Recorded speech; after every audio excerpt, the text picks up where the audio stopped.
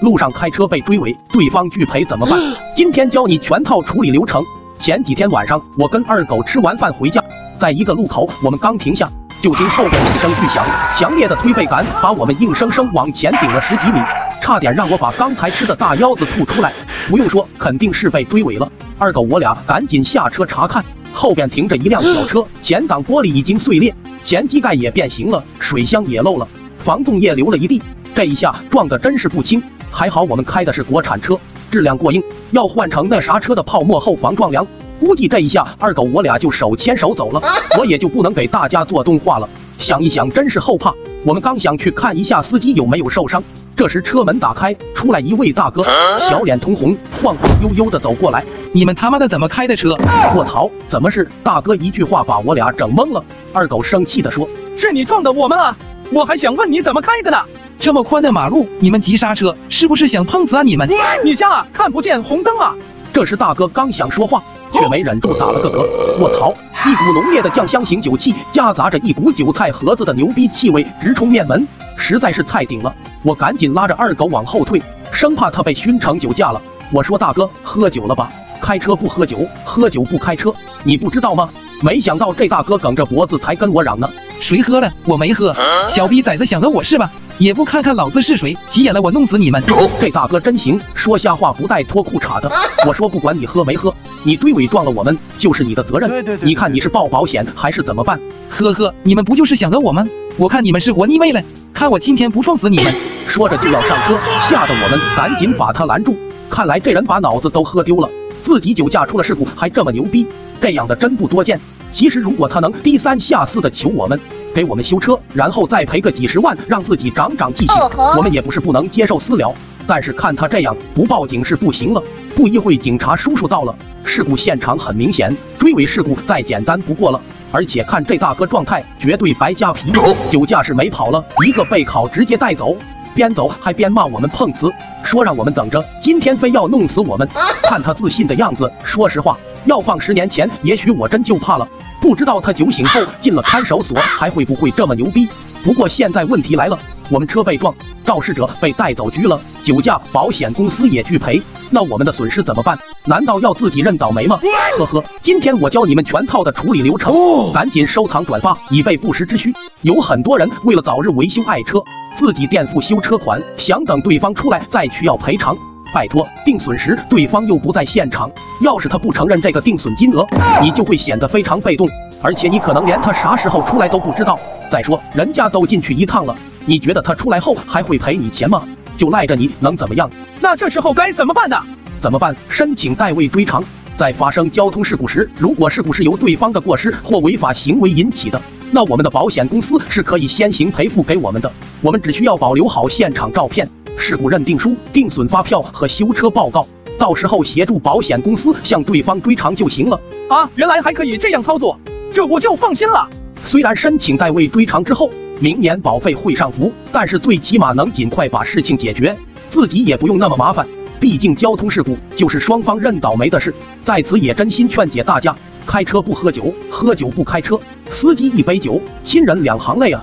我是王金条，我的愿望是世界和平。么么么么么么么么么么么么哒！朋友酒驾怒撞一排豪车，保险公司连夜庆祝。根据真实事件改编，有兴趣的朋友可以去搜一下，现场可以说十分震撼。上周末，大坤来找我，大坤我俩是同学，但是毕业之后很少联系，因为我们压根不是一路人。他这人有点吊儿郎当的。喜欢结交一些社会上的朋友，平时跟他们出去评个事、看个场子啥的。而且他们这帮人最喜欢喝酒了，一场、二场、三四场的，每天都喝得不省人事。大坤，好久不见，有事吗？金条，我有点急，就不跟你绕圈子了。我今天约了个网友，想开你的车撑个场面，快把钥匙给我。我靠，平时都不怎么联系，这一来就要借车。大坤见我迟疑，马上又说：金条，咱们多少年的兄弟，你可得帮我啊！我平时总跟他吹。今天可不能丢了面子！你之前不是说你没有驾照吗？现在考下来了吗？我跟你说，金条，这个驾照并不能说明一个人的驾驶技术。我虽然没有驾照，但我开车这么多年，啥事也没有啊。你没驾照，我是肯定不会借给你车的。我这样也是为你的安全负责。而且我今天还有事，也需要用车。我说金条，咱们这么多年的关系，借个车都不给面子吗？这可关乎我下半生的幸福。真是遇到事了才能看清一个人。行，算我看错你了，以后别说我是你朋友。说完，大坤头也不回的走了。呵呵，我看是关乎你今天下半身的幸福吧。真不是我心疼车不够意思，而是借车风险实在太大了。没有把握的人千万不能随便借，对对，为他好更是为自己好。大坤走了大概一小时后，我看到他发了个朋友圈，是一张自拍，背景好像是一台宝马，配文是有些小人根本不配做我大坤的朋友。呵呵，这明显是说给我看的。看来大坤这是借到车了。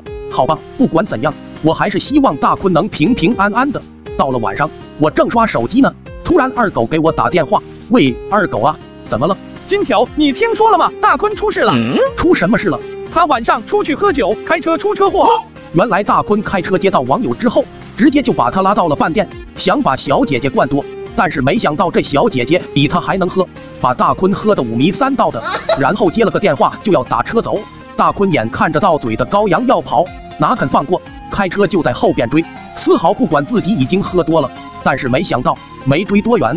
突然看到前边 有交警设卡查酒驾，大坤虽然喝多了，但是脑子还算清醒，一脚刹车直接刹停，赶在交警发现之前，一个漂移掉头，径直开进了一个地下停车场。但是没想到这次油门给太大了，大坤的酒气一下涌上了头。之后的事他就啥都不知道了。直到接到报警，警察叔叔赶到现场之后，大坤还一直踩着油门呢，车子死死顶着前边的车，轮胎发出刺耳的咆哮。警察叔叔把他拽出来之后，他还躺在地上呼呼大睡呢。但是事故现场可以说是十分惨烈了，这个停车场简直毫无人性，停满了各种豪车超跑。大坤刚才冲进来之后，直接就撞上了一台法拉利，但是由于车速太快，根本停不下来，于是后面一排车都跟着遭了殃。参与这次车祸的依次有法拉利、保时捷、兰博基尼、宾利、劳斯莱斯，幸亏劳斯莱斯吨位扎实。这才没有撞到最后面价值三千万的布加迪威龙。突然感觉这辆宝马在这里是这么的不自量力。初步估计这些豪车的维修总费用高达五百万以上，这还不包括折旧费。事故责任没有争议，肯定是我躺在地上的好朋友全责。而且酒驾保险公司是一毛不赔的，一下背了五百多万的债，估计这是大坤睡的最后一个好觉了。哦，对了，还有借车给他的车主，这车主心是真大啊，不知道现在哭没哭。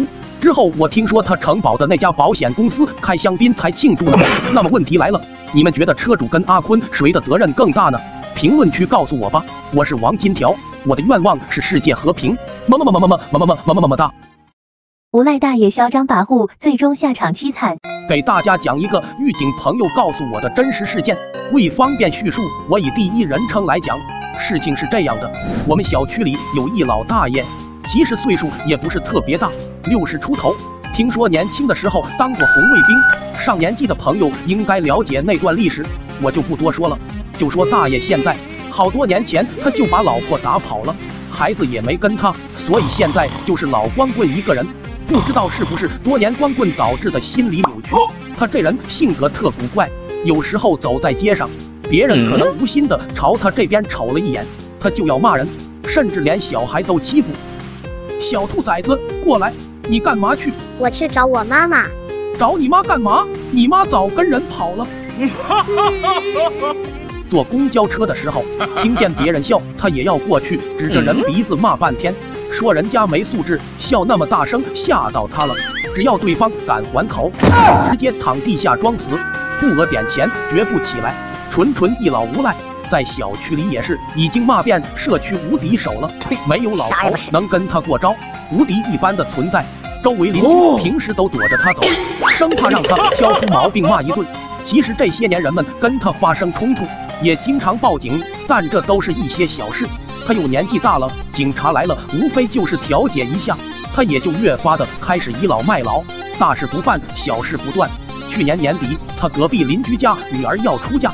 因为喜事当天，新郎要过来接新娘，早上免不了要闹腾一下。毕竟喜事图的就是个热闹，他邻居早就想到了这点，所以提前就给周边邻居都打了招呼，发了红包，并且特意买了几样礼物给他送去。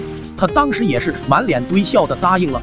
转眼到了喜事当天，新郎来接新娘，正敲门呢，这老无赖出来了，指着接亲的人群就开始骂：大喜的日子不能让他给搅和了啊！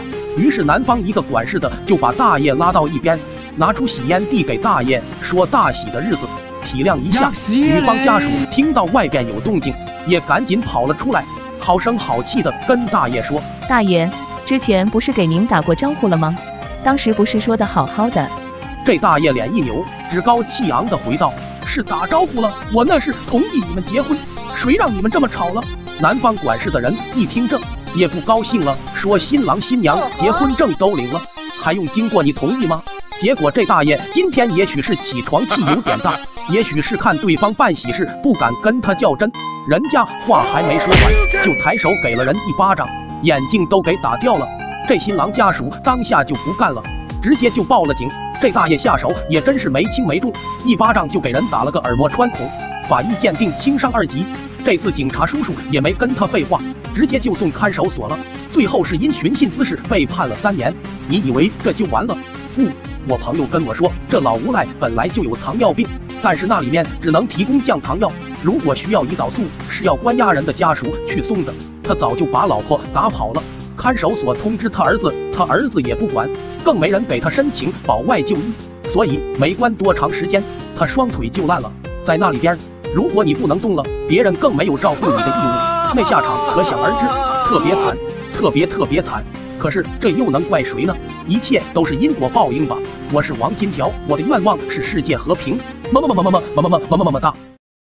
我家楼上邻居没一个讲理的，这次我直接单挑整栋楼，太残暴。事情是这样的，我家住一楼，而且是那种没有电梯的六层老小区。从去年开始，我家的下水管就总是堵住。一开始我们一发现堵了，就赶紧找师傅过来通，通水管也很快，每次一百多点。可是后来下水堵塞的就越来越频繁，有时候甚至一天就能堵住两回。我们家都成了超级 VIP 了。我问马师傅怎么回事，他说：你们这种老房子的下水管比较细，再加上管道老化，本来就很容易堵住。而且你看这管里全都是头发和食物残渣，不堵才怪呢。我们家从不往下水管里丢头发，这是怎么回事？谁说是你家丢的了？整个单元共用一个下水道，不定是哪家丢的呢。但是你家住一楼，所以每次堵就堵在你家这里。你们不会都不知道吧？这种事情属于整个单元的责任，费用一般都是要每家平摊的。我操！幸亏这次问了一下，要不然我们还一直花冤枉钱呢。而且每次通下水都把我家弄得又脏又臭，最严重的一次还把马桶和边上地砖扒了。现在想想，真是个大冤种。之前出的钱就算了，但是现在要先通知一下楼上，如果再堵了，费用就大家平摊。然后我就去挨家挨户的通知，但是让我没想到的是，楼上没一个讲理的，有的说谁堵的去找谁，还有的说你家堵了，为什么要让我们出钱修？反倒弄得我很尴尬。这次疏通之后，又过了半个月，下水又堵了。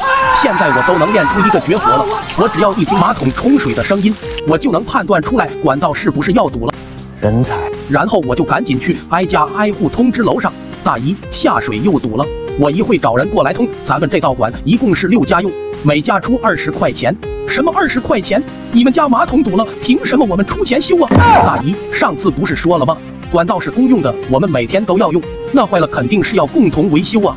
我出不着这个钱，你去找别人吧。于是我又赶紧来到三楼，还是之前一样的说法，说我们家头发都掉完了。不可能会往下水丢头发，所以不应该找我出钱。谁丢的头发，你去找谁。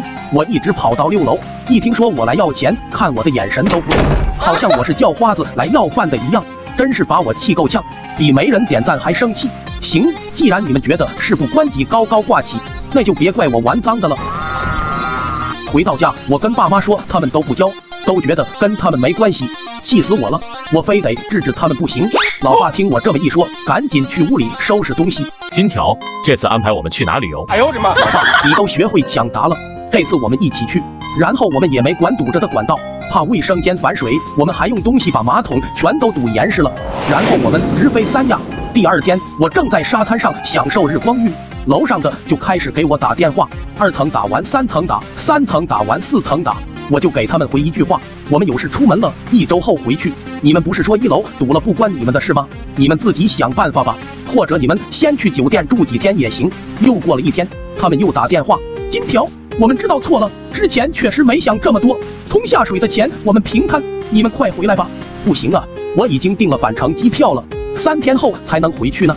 如果改签。今天要加不少钱，你们再忍几天吧。这时我听见电话那边有几个人几乎同时喊道：“没事，把身份信息发过来，我们给你买机票。你现在收拾一下，准备往回走吧。”其实我根本就没订返程机票。既然这样，就算他们把之前通下水的钱报了吧。然后我就自己先回家了。我直接带着马师傅来到家里，当着他们的面把下水通好了。这次他们倒没说啥，一个个都把钱出了。然后我跟马师傅说，给我们做一个单独下水，这样以后再赌就是赌二楼了。我再也不跟他们上这火了。你说他们一开始不知道应该出钱吗？不可能，都用一条管，他们肯定知道的。但人就是这样，没妨碍到自己利益的时候，能逃避就逃避。还是那句话，解决问题最好的办法就是把利益捆绑在一起。听懂的帮我点个赞吧。我是王金条，我的愿望是世界和平。么么么么么么么么么么么么哒。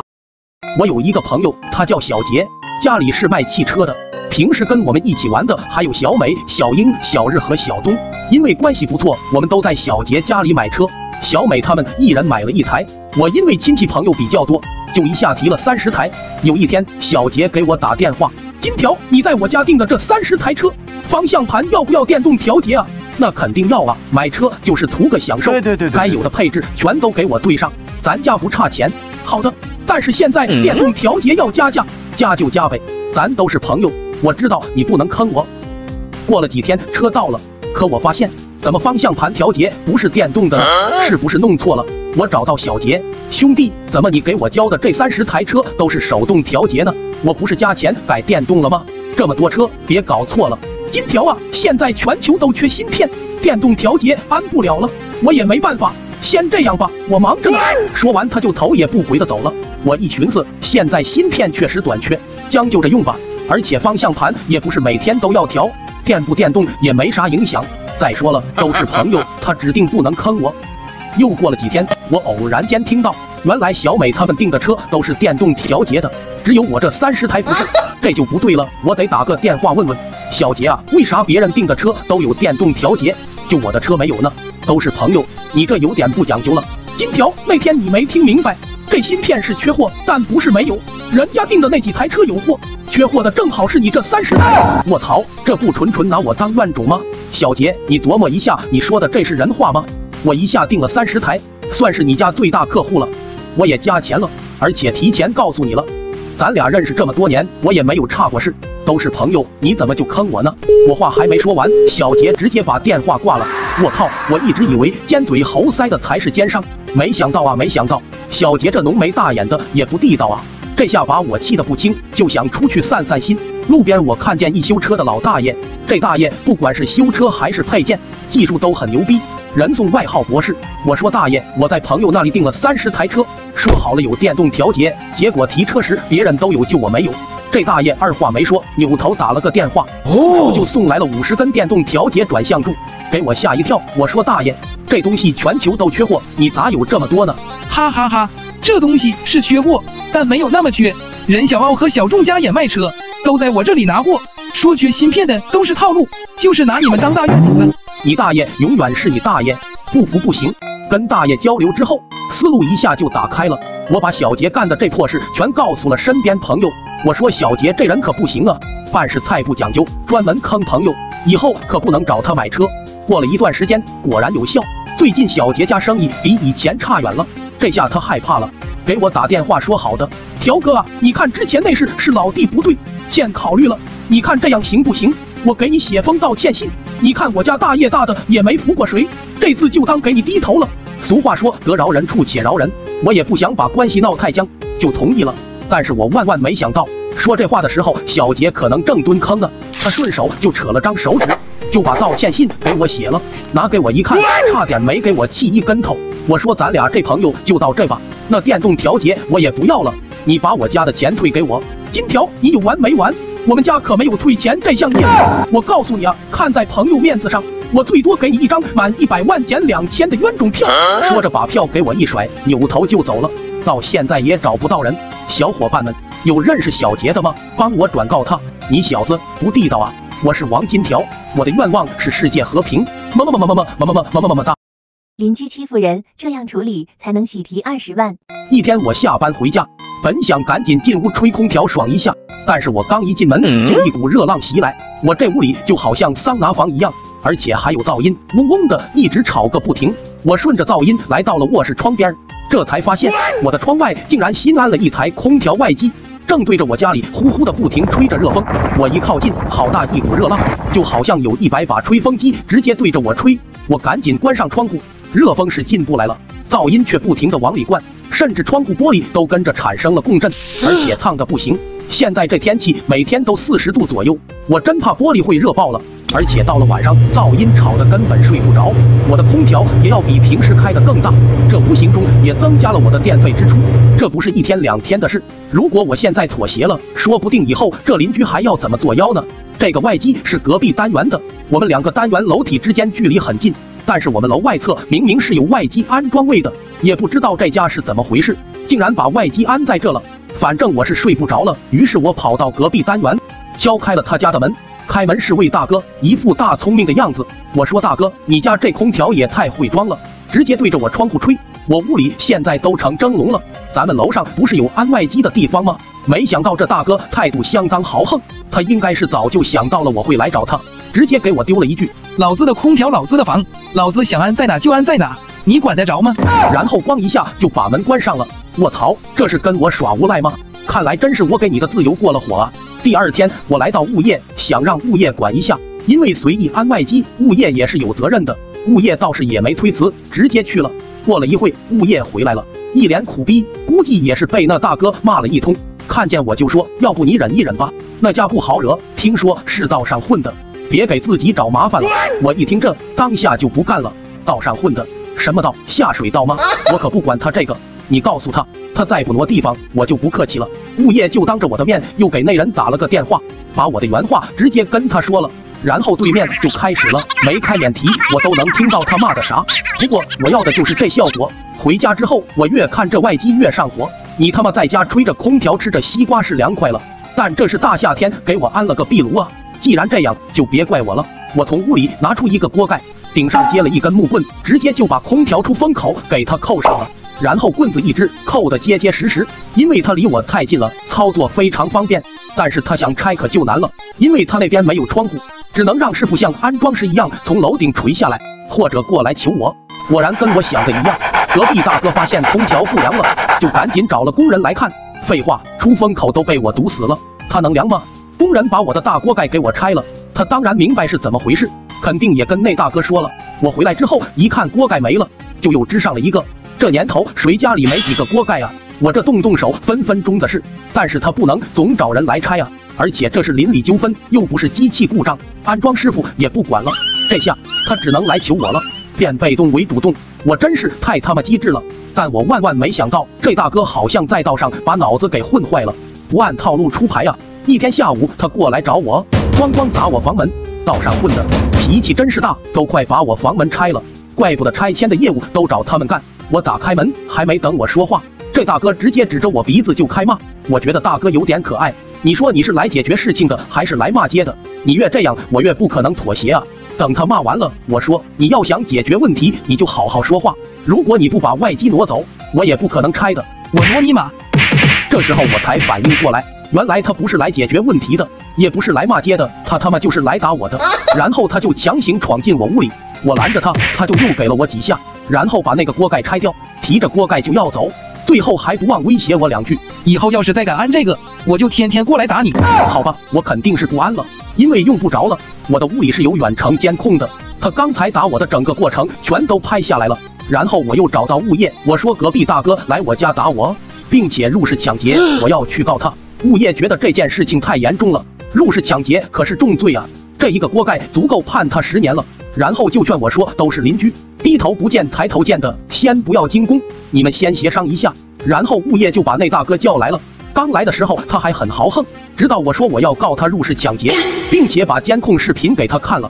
大哥问了一下旁边的朋友，他这朋友还算有点脑子，直接跟他说：“没错，大哥，十年起，你放心，我会好好照顾嫂子的。”这一下可把他吓坏了，他哪知道就进屋拿了个锅盖就要蹲十年了，态度一下来了个一百八十度大反转，那满脸的横肉也开始挤出了笑容，开始跟我称兄道弟的，最后说动手肯定是他的不对，让我说个数，只要不报警就行。千万记住，这时候绝对不能透露半点要钱的意思，要不然被对方录音录像了，很可能会反咬一口告你敲诈勒索。我能看不出他这点小心思吗？我说咱们都是邻居，你这样太不应该了。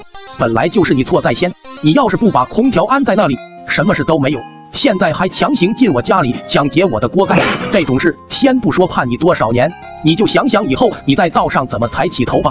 没错，大哥，抢劫锅盖确实丢人。行了，不说了，我现在浑身上下脑袋疼，我先去医院看看。这当然是我的缓兵之计，要的就是他认清自己现在的处境。如果不想进去，那就把价钱开高点儿，而且给我钱的时候还要面带笑容，求着我收下。别管你是什么人，到了这时候都得把头低下。不出两天，这大哥就已经把空调外机拆走了，并且赔偿已经谈到了二十万。小伙伴们，你们觉得够了吗？还有新上市的车都有哪些？告诉我一下。我是王金条，我的愿望是世界和平。么么么么么么么么么么么么么哒！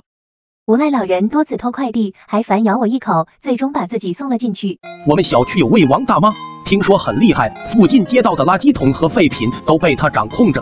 闯入她地盘的拾荒者，全被骂得不敢出门了。而且王大妈还特爱占小便宜，平时出门不捡东西就算丢，掏粪车打她家门前过都得跑出去尝尝咸淡。当然，如果她只这样，对我们影响倒还不大。主要是后面发生的事，友情提醒：以下有密集画面，密恐患者谨慎观看。前段时间，我们小区的菜鸟驿站关门了，快递只能暂时放在门口保安室。这样一来，取件倒是方便了，但问题是那里没人看管，甭管谁去了，就在快递堆里乱翻，经常出现错拿甚至多拿的情况。最近我就连续丢了好几个快递，虽然价值不高，但都是急用的生活品，实在是让我上火，而且这火还没地方撒。你找快递公司，快递说已经放门口保安室了。你找保安室，人家又没看管快递的义务。而且听门卫大爷说，最近丢快递的人老多了。查监控是能看到谁拿了快递，但是看不到他拿的是不是自己的，所以这事暂时无解。要不你们就别买快递了呗，我也能清闲点。大爷一句话，差点把我气笑。不行，不能再这么下去了。必须得想办法把这个贼揪出来。我边走边分析，正常丢快递一般都是看错了名字，但是这种情况应该很少。现在这样大量的丢，肯定是有人故意偷的，对对，而且还是个惯犯。既然这样，那我就给你准备点惊喜吧，让你知道知道别人的东西不是那么好拿的。我找到一家卖宠物食品的店，买了足足两斤的活体蟑螂，而且特意备注全要南方那种超大只还会飞的，有一只不会飞我就给差评，并且不要包网兜，直接放箱子里。然后又多付了五元钱，让店家在箱子里放了个臭鸡蛋。快递走加急，隔天到。为了治这个贼，我真是下了血本。过了一天，快递到了，我先去看了一下，蛮大的一个箱子，两斤高高的。因为怕蟑螂跑出来，店家特意把箱子封得很严实。但是由于里边放了一个臭鸡蛋，现在已经发酵了，气体把箱子胀得都有点鼓包。凑到耳边，还能听到密密麻麻的肢体活动的声音。卧槽！我一下起了一身鸡皮疙瘩。我是不是有点过分了？不管了，我就放在这里，偷不偷就看他的造化吧。又过了一天，早上我刚睡醒，有一个陌生号码给我打电话，接通后上来就是一通骂：“你他妈是不是有病啊？有买蟑螂的吗？把我妈都吓坏了！你给我等着，我妈要是有个三长两短，我跟你没完！”后来我才知道，原来拿我快递的就是王大妈。给我打电话的是他儿子。这段时间以来，每天王大妈都从保安室偷快递。她只偷箱子的，因为她要把纸箱攒起来卖钱。她看我这箱子挺大，于是就开开心心的抱回了家。回家之后就迫不及待的要开箱，但是我那包裹由于胶带封得紧，里边气体又发胀，就像个气球一样。她刚一戳，就整个爆开了，里面足足两斤几百只的蟑螂全都喷了出来。王大妈猝不及防，浑身上下瞬间就被蟑螂裹满了。并且还伴着一股恶臭，蟑螂又飞又爬的，当时的场景简直不要太可怕。活了六十多岁的王大妈哪见过这，当场三魂丢了七魄，大脑直接就死机了。抢救过来后，眼神也特别呆滞，估计当时王大妈还以为自己见到了克苏鲁。住院花了不少钱，这下他儿子不干了，不但打电话把我骂了一顿，后来还报警了，说我明知道王大妈会偷快递，所以故意在快递里放蟑螂吓老人。现在后果很严重，一定要让我负法律责任。我当场就笑了，这是什么强盗逻辑？我说我买蟑螂是用来喂螳螂的，而且我怎么知道快递会丢？你们偷快递还是我的错了。后来警察叔叔在调查这件事的时候，又在王大妈家找到了好多快递箱，询问快递主人之后，确定都是被盗的快递。这下结案了，小区丢的所有快递都是王大妈偷的，就为了卖点纸箱钱。王大妈从医院出来就直接被刑拘了，两年之内偷盗三次以上就构成盗窃罪，而且不看金额的。王大妈这下省了，里边不但包吃住，还能喜提连体银手镯，偷着乐去吧。本来就想给他一点小教训，结果没想到他自己把自己给送进去了。你说这事能怪我吗？我是王金条，我的愿望是世界和平。么么么么么么么么么么么么么哒。社会大哥当街欺负老实人，结果被反杀。上周五我出去办事，由于天气太热了，我就买了一根冰激凌，边走边吃。路上经过一所高档小区，这小区里都是别墅和洋房，可想而知里边的业主非富即贵。下午好，金条先生，有什么需要帮助您的吗？是小李啊，不用，我这冰激凌快化了，我得赶紧吃。看到没有，我们小区安保工作做的也是非常好的，保安个个训练有素，一水的黑西装、黑皮鞋、黑墨镜，见到业主礼貌热情。非业主想进小区，必须要经过业主同意，管理相当严格。对对对对正说着，突然开过来一辆豪车，速度非常快，到了小区门口，突然一个急刹车，扬起了很大的灰尘，我的草莓味冰激凌都变成巧克力的了。这时豪车的车玻璃降下来，看样子是一位社会大哥。保安，见车过来了，不知道开门吗？你是跟木头啊你？看来这大哥横冲直撞惯了，这次没有提前给他开门，有点情绪。你好，先生，本小区外来车辆是不能进入的，你可以把车停在路边，有公共停车位的。你瞎啊！老子是业主，我刚换了车，还没办蓝牙卡呢。你快开门让我进去。先生，本小区的业主以及家庭成员，我们都是有记录并且认识的。我现在并不能确认你的身份。确认什么身份？我开这么好的车，我能是坏人吗？大哥，我没说你是坏人，但是开好车的就一定是好人吗？你还是联系一下业主，让业主通知我们吧。小逼崽子，我警告你，赶快给我开门，别坏了我的事。我可是来给赵局送东西的。先生，请你理解我们的工作，并且注意你说话的语气。这一句话把那大哥给惹急了，我注意你妈，你他妈开不开？说着就上手给了小李两巴掌。小李倒是表现得很淡定，扶了扶被打歪的帽子。先生，这是我的本职工作，我们有我们的管理制度，希望你能理解。还有，请你先把车开到一边，不要妨碍小区的正常通行，否则我们将对你的车进行上锁处理。这大哥平时嚣张跋扈惯了，今天这小保安竟然这么不把自己放在眼里，决定给他一点颜色瞧瞧。老子今天就把车停这了，我看谁敢动我的车。你不就是个保安吗？穷逼一个，给我装什么呢？你就是条看门狗，你知道吗？你当一辈子看门狗都买不起我这车。说着，还从包里拿出一沓票子，用力往保安脸上抽，还不停叫嚣着：“来，你给老子学两声狗叫，老子高兴了就把钱给你，这能顶你半年工资了吧？”一边说，一边抽着小李的脸。可怜的小李被他抽的一步步往后退，脸色阴沉，极力的克制让他紧握的双拳不停颤抖，但他还是尽量用平和的语气说道：“先生，你再这样，我就对你不客气了。”这大哥一听这话，竟然当场笑了起来。他混了一辈子社会，什么狠话没听过，什么场面没经历过。他当年砍人的时候，这小保安可能还穿开裆裤呢，今天竟然敢来威胁我，真是太他妈可笑了。然后他把票子一丢。抓住小李的衣领，恶狠狠地说：“我看你真是活腻了，我倒要看看你能怎么对我不客气。你个穷逼，老子用钱都能砸死你，知道吗？”紧接着又一口老痰吐在了小李脸上，这口痰好像解开了一道封印，把小李压抑在身体里的怒火全都释放了出来。太他妈欺负人了，他不能再忍了。小李一拳打在大哥的脸上，把大哥都打愣了。他没想到这小保安还真敢动自己，但是小李没有给他反应的机会，紧接着又是一套组合拳，把他打得一直往后退。但他仍然在坚持，想找一个机会反击。可他不知道，小李根本没想给他留任何机会。此时他已经掏出了一把水果刀，以迅雷不及掩耳之速刺进了大哥的身体里，一下两下，近乎疯狂的小李不知道捅了多少刀才停手。而此时的社会大哥已经瘫软在了地上，这一切发生的太快了。围观的路人根本来不及反应，小李还不解气，怒骂道：“起来啊！你他妈的不是牛逼吗？起来啊！你不就是有辆豪车？有豪车了不起是吗？”小李还在不停的骂着，好像这口气怎么也出不完。他骂的是躺在地上的大哥吗？不，不全是。他骂的是这些年与日俱增的生活压力。他骂的是不论怎么努力都追不上的贫富差距。他骂的是从出生就无法逾越的阶层鸿沟。此时的社会大哥就那么睁着眼倒在了他的豪车旁，他可能到死都不能理解，为什么自己当初混社会，刀山火海都闯过来了，最后却死在了一个小保安的手里。是啊，你说为什么呢？最后小李也因过失致人死亡罪被判了十年。本来只是一件小事，但他一时冲动，没有控制住自己，最后酿成了这样的惨剧，实在是让人叹息。当时如果换作是你，你觉得你能忍吗？其实小李判的并不重，过失的最低量刑就是十年。所以这里有几点需要注意，就是小李刀的来源和拿刀的姿势。当时他是向上拿刀，所以法官会考虑他的主观意向是伤害。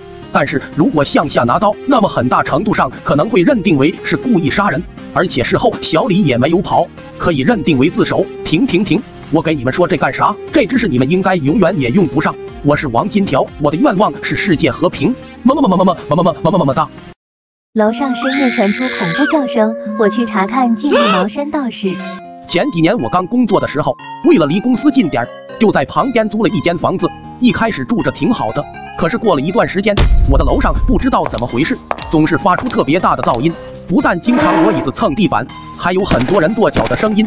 他妈的，我的楼上难道在开运动会吗？而且到了深夜，偶尔还会发出几声尖叫和大笑，丝毫不顾及别人是不是在休息，实在有点太不道德了。反正也被吵得睡不着，于是我就想上楼去看看。等我到了楼上，声音也越来越大。这时我才发现，原来我楼上的这一整层都被改造成了剧本杀和密室逃脱。我的天，这东西也能开在居民楼里吗？每天过来玩的人还不少，怪不得那么吵。我敲了半天门才开，突然就跳出来一个茅山道士。我靠，大半夜的，差点把我魂吓飞。你好，欢迎光临沙雕探案馆。你要玩剧本杀还是密室逃脱？那个，我就是过来看看。你一个人吗？是的，我现在还单身。我是问你几个人玩？哦哦，我是楼下的。你们大半夜鬼哭狼嚎的，吵得我睡不着觉。我想让你们安静一点，这怎么能开在居民楼里呢？这也太扰民了。我有什么办法？商场里场地太贵了，现在挣点钱太难。你看我又当老板又客串 NPC 的，而且我这都跟房东说好了，只要房东答应，我胸口开大石都行，别人管不着。现在挣钱不容易，我也理解。但是你能不能把隔音好好做一下啊？或者让他们声音小一点？现在这样太吵了。谁都没说话，就你事多。你不也是租房的吗？你爱住就住，不住就滚。大不了老子把你楼下也租下来。行了，我没时间跟你废话，人家还等着我呢。说完就哐叽把门关上了。随后屋里又发出一声凄厉的惨叫。我操，这把我气的！你扰民还有理了是吗？不行，我必须得好好治治你。这时我抬头看到他墙上贴的所有剧本的简介，突然想到了一个绝妙的办法。回到家我就把这些剧本的结局和密室逃脱的方法全都找出来，制作成了图片攻略。第二天一大早就找了个打印店，把这些图片全都打印了出来，然后回去就贴在了电梯里。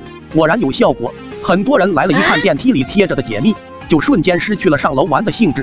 哈哈哈，剧透果然够损啊！后来楼上也发现了我贴在电梯的照片，但他撕了，我就重新贴上，反正我就费一张纸。这楼上的生意眼瞅着是越来越不行，就算他换剧本，我也能很快查到答案。不得已，老板只能投降了。